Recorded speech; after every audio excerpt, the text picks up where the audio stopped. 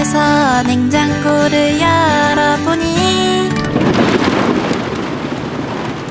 바나나 마두유가 하나 가득 쌓여있네.